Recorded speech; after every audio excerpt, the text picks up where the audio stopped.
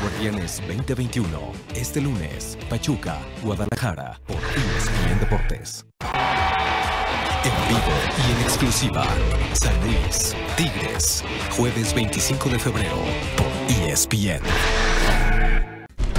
Sábado 27 de febrero, Canelo, Gildirim. Lo mejor del boxeo internacional está en ESPN Knockout. Del 15 al 20 de marzo, el abierto mexicano del CEL estará en la pantalla de ESPN. Acaban los desvelos, se acaba el modo zombie, como diría Luis Alfredo. Djokovic contra Medvedev es la final del Australian Open, octavo enfrentamiento entre ambos, cuatro triunfos para Novak, tres para el ruso, novena final de Nole. En Australia no ha perdido ninguna de las ocho anteriores. Se ha hablado mucho sobre la Next Gen y que nos superará, pero siendo realistas, eso no está pasando todavía. Con todo el respeto, aún tienen mucho trabajo por hacer, decía Nole a Eurosport.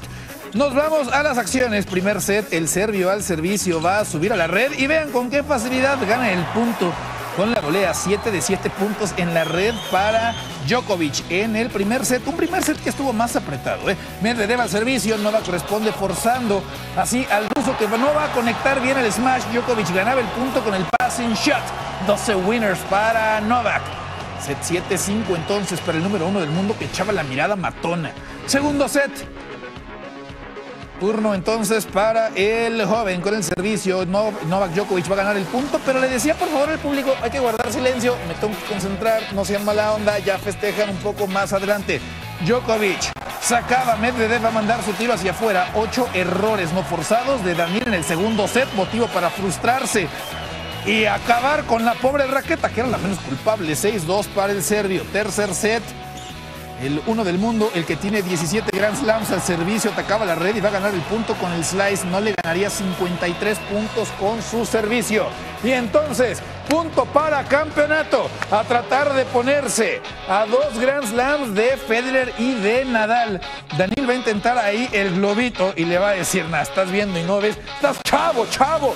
Decía Novak Djokovic que de esta manera conseguía el punto, que de esta manera conseguía el game, conseguía el set, conseguía el match, conseguía el campeonato.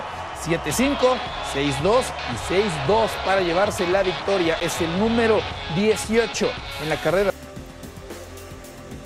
Hay que ponerse en forma para el próximo sábado, Barak, porque vaya jornada 8 la que tendremos por ESPN Deportes. Sí, los equipos que están ahí arriba junto a Tijuana en este torneo, ya llegando ya a la mitad. Toluca contra Atlas, 5.55 tiempo el este por ESPN Deportes. Después América contra Pachuca y después León contra Cruz Azul, espalda con espalda con espalda. Así cerramos entonces esa jornada 8 el próximo sábado.